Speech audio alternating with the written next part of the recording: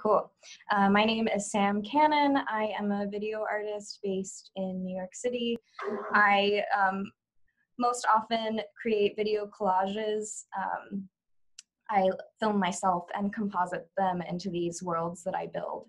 And um, so this piece, it's very weather reporting uh, for the piece that I have been able to make for this amazing infinite objects collection with you all, which I'm so excited to be a part of.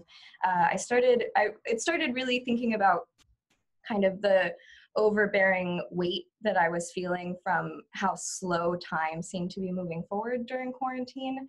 And I wanted to create a piece that was a reinterpretation of you know a, a clock or an hourglass um, and i i started thinking about um, you know the way that our our time the way that we perceive it because of the time that it takes for us to orbit around our own sun and just these objects in space and more distance between them equating to longer durations of days. Uh, and so i created this piece which is called two bodies in orbit where i filmed um, myself in a pool um, and then composited it to create these two systems that are kind of volleying back and forth um, to make this, you know, type of timekeeper that you can set on your desk um, using my own body as the substance for measuring that time going by.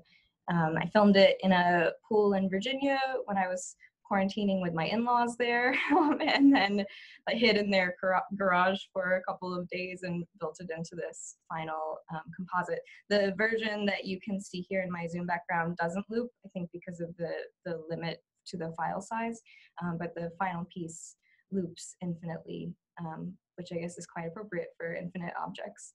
Um, and yes, that is, that is this piece two bodies in orbit. And thank you all so much. Thank you, Studio As We Are, and Her Visions, and Infinite Objects.